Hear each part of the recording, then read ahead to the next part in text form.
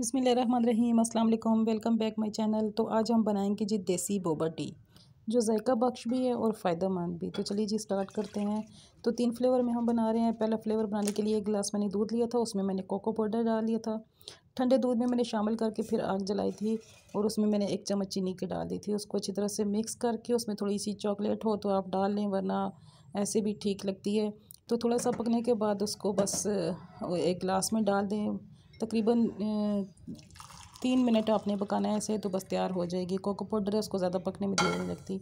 तो चल दोबारा से हमने पतीली रख दिया जिसमें हमने डाल दिया दूसरा गिलास दूध का। उसमें डालेंगे हम कस्टर्ड, क्योंकि हम कस्टर्ड मैंगो फ्लेवर का बना रहे हैं। तो थोड़ा सा मैंने कस्टर्ड डाल दिया, तकरीबन डेढ़ टेबल स्पून और उसमें मैंने एक टेबल स्पून चीनी डाल दी थी, उसको अच्छी तरह मिक्स किया है। बहुत ज़्यादा गाढ़ा नहीं करना, बिल्कुल ऐसे रनी सा बैटर होना चाहिए। सूप जैसे होता है, वैसा होना चाहिए। तो ये देखें, या ऐसा होना चाहिए, बिल्कुल तैयार होके। तो उसको भी हमने डाल दिया एक कप में।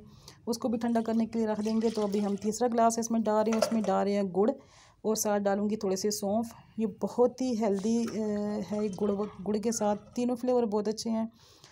सर्दियों में आप अपने बच्चों को बना के दें गुड़ वाली तो स्पेशली बहुत अच्छे हैं। तो इसको भी हम पका के ऐसे कप में डाल लेंगे तो अब हमने डाल रखना है जी चौथी दफ़ा पतीला।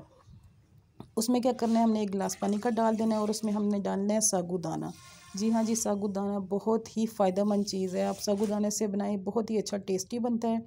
उसको हम बॉईल कर लेंगे। जब अच्छी तरह से बॉयल आ जाएगा तो उसमें हम डालेंगे ठंडा पानी, ढेर सारा, ताकि इसका कुकिंग प्रोसेस रुक जाए। तो ठंडा पानी डालने के बाद उसको हम स्टेन कर लेंगे एक चलनी में डाल के। तो स्टेन करने के बाद ग्लास में नीचे ये डालेंगे सागुदाना और ऊपर तीन गिलासों में मुख्तलिफ़ सागुदाना डालेंगे और ऊपर मुख्तलिफ़ ये जो हमने ड्रिंक्स बनाई हैं वो डाल देंगे। सॉरी, वो मेरा क्लिप मिस हो गया था। बहुत ही मुझे अफसोस है, लेकिन ये देख लें, बहुत ही अच्छे लग रहे हैं और पीने में भी।